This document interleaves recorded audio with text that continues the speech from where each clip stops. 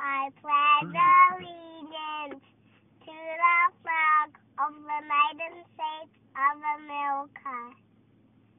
and to the republic which it stands, one nation, under God, and to indivisible, with liberty, justice,